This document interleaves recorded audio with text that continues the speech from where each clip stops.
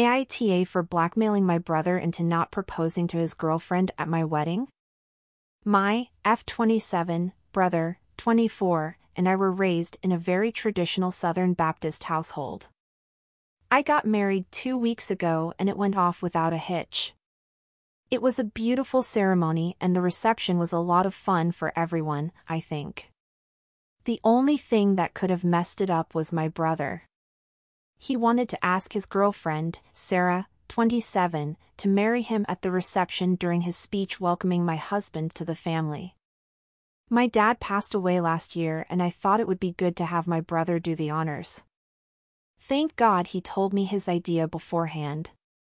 My brother didn't know that Sarah, who is one of my best friends, had already told me that she was pregnant. My brother is a youth pastor at our church. Sarah is the choir director. Everyone looks up to them. I told him that if he had the audacity to try and include himself in my day the response to his speech would be me toasting his new baby. He was furious that I knew about it. And that I would leverage it against him. I saw red. I said that if he and his girlfriend were willing to go against our beliefs then I had no problem calling him out. Our fight got loud enough that our mom came in to break it up. I kept my mouth shut despite wanting to blab right there and then. Like I said my wedding went perfectly. And my brother proposed to his girlfriend privately at a beautiful little spot in the hotel grounds after we left the reception.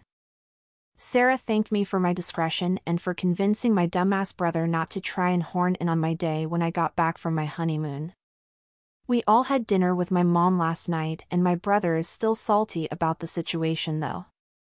When I spoke with him to congratulate him on his engagement he said I was petty to keep him and Sarah from having a moment in the sun.